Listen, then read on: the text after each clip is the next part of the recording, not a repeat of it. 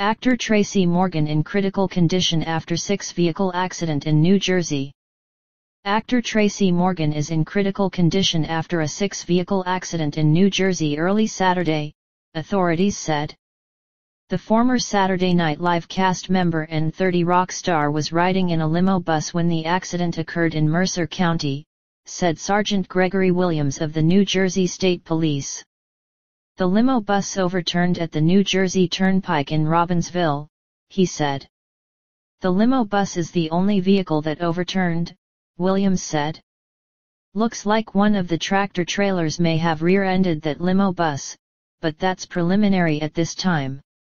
Williams said he does not believe alcohol played a role in the accident, but that is under investigation. In addition to the bus, the wreck involved two tractor trailers and an SUV, he said.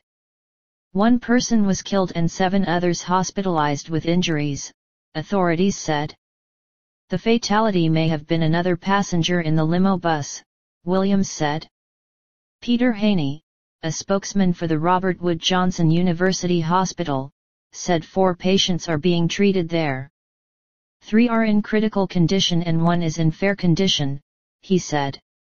The hospital said that a man named Tracy Morgan was among those in critical condition, but citing privacy laws, declined to confirm it is the actor. State police confirmed his identity to CNN. Morgan performed Friday night at the Dover Downs Hotel and Casino in Dover, Delaware, the venue said.